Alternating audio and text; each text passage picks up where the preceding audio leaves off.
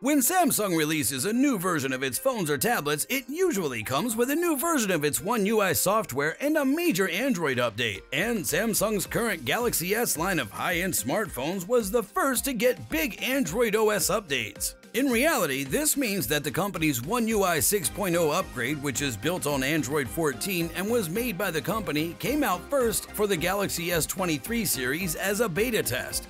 Because One UI 6.0 is a major change to the program, it has a better software design, more ways to make it your own, better performance, and a lot of brand new features. In this video, you can find a full list of all the new and improved features. Everything is explained. Let's start with talking about the Quick panel. It has a new layout for its buttons, which are as follows. The layout of the fast panel's been changed, making it much easier to get to the most used features.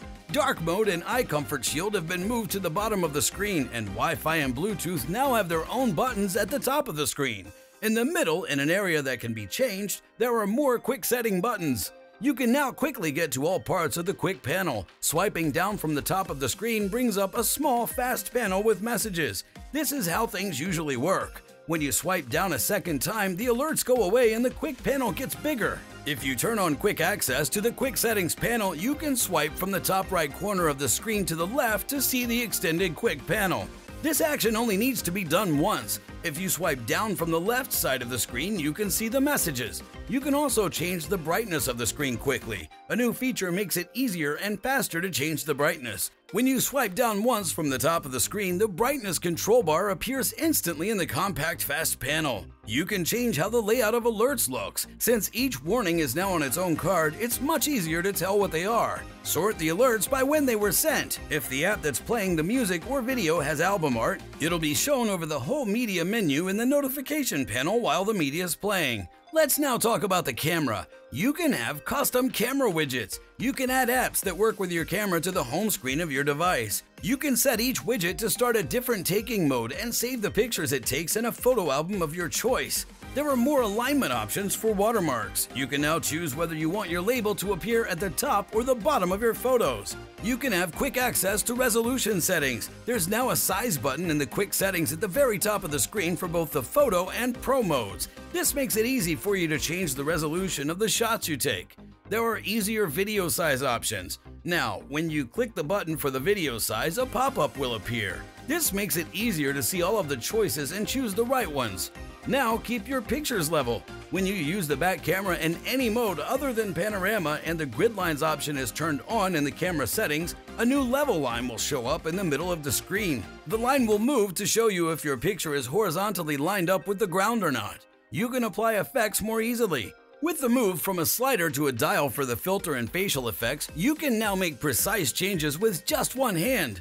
Documents can be scanned easily. Since the scan document feature is no longer tied to the scene optimizer, you can now scan documents even if the scene optimizer is turned off on your device. With the new auto scan feature, you can now scan documents automatically whenever you take a picture of them. After you've scanned a document, you'll be taken to the edit screen where you can move and align the document any way you want. It has new auto FPS settings for videos. When there isn't much light, Auto FPS can help by letting you record better movies. In Auto FPS, you can now choose from three different options.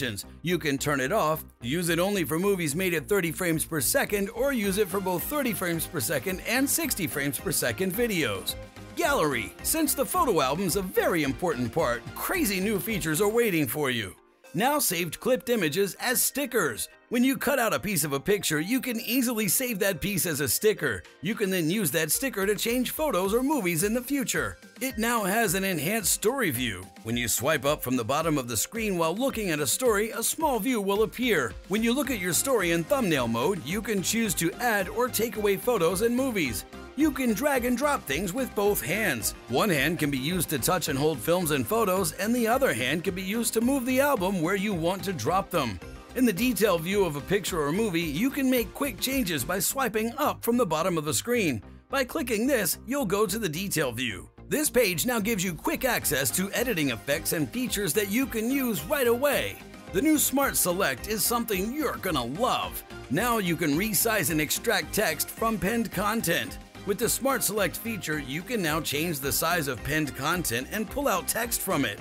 For example, you can now change the size of a picture that you have pinned to the screen.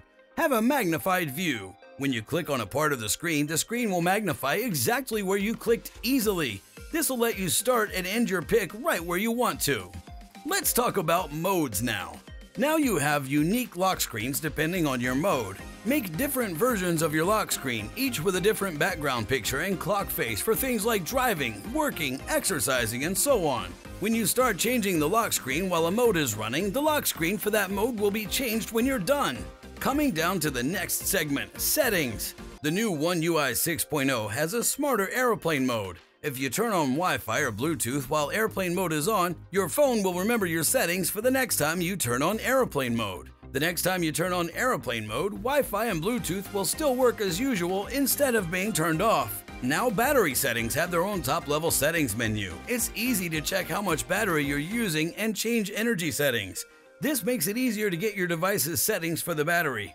You can now block the annoying security threats. Get an extra layer of protection for your files and programs. AutoBlocker stops malicious commands from being sent to your phone through a USB cable, checks for malware, and stops unknown programs from being loaded on your device so they can't be installed. Last but not least, let's talk about accessibility. There are new magnification options now. Change how your zoom window looks to meet your needs. You can use the whole screen, a part of the screen, or switch back and forth between the two.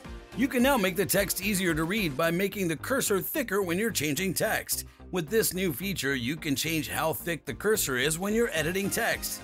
And that's all, guys. I hope you enjoyed watching the video, and we'll see you next time.